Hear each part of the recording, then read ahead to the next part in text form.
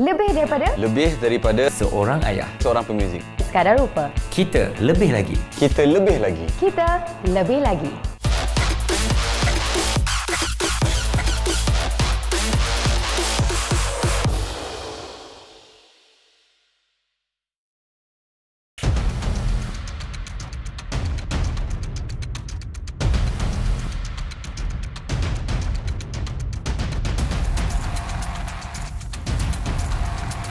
Nama saya Adi Marcello Benazari dan saya merupakan seorang pengarah kreatif untuk syarikat Minecraft Production. Saya rasa pengarah kreatif ni kerjanya lebih daripada mengarah sebenarnya. Maksudnya tanggungjawab saya tu untuk memastikan semua yang untuk dirakam ataupun dilihat dengan mata kita tu cantik untuk dilihat oleh semua orang. Struggle-nya yes of course lah. You akan lalui saat-saat yang struggle tu. So mungkin orang tengok saya ni more on depan kamera dulu. Bila berdepan dengan klien first soalan ni macam Eh dia ni macam macam host ke kerti ke buat, buat kerja ni? So bila dia tengok hasil kerja kita dan cara kita bekerja Okay dia tahu apa yang dia buat. Macam saya punya motto hidup pun very simple. Just be yourself. So biarlah saya jadi diri saya je. Yang saya nampak banyak yang fail ni mungkin Cuba nak jadi someone. Kita tak boleh ada ada istilah fake dalam hidup kita Dengan apa kita nak buat. Especially kalau you nak run business Untuk nak sara kehidupan you semua Tu apa choice yang tak baik lah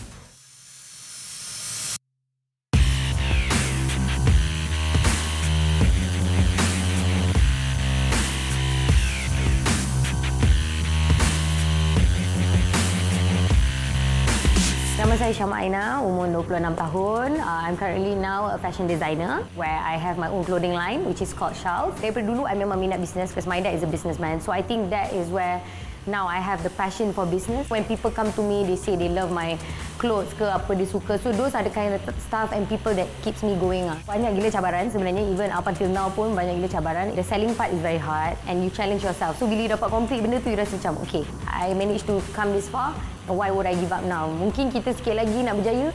I think at first it was more passion for fashion sebenarnya. And then tapi bila dah buat tu macam dah tahu susah baru macam okay.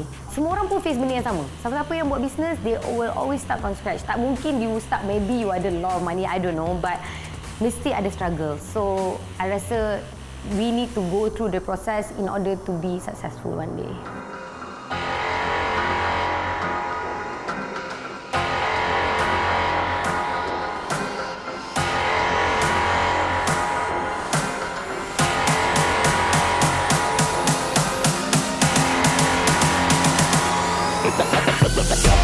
Industri seni adalah satu industri cari makan paling susah.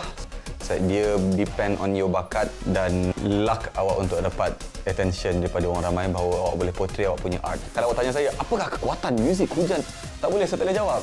Saya percaya benda yang kalau awak sincere buat, you just jalan, jangan peduli orang cakap apa. And awak kena set goal awak. Kalau set awak goal awak just nak, uh, saya nak jadi macam, uh, macam mana nak jadi macam hujan? Macam like what you want? Uh, famous yang hujan. Oh, dia orang left out benda yang macam how did hujan started. Tentu gig tak bayar. So bila saya stop kerja tu, kita sampai seminggu tak makan. So makan roti canai je. For one week, two weeks. Survive dengan duit show yang RM20. Kita bukan just entertain, kita educate people bahawa orang yang awak idol on TV tu pun manusia juga kan. We need to go through the process in order to be successful one day.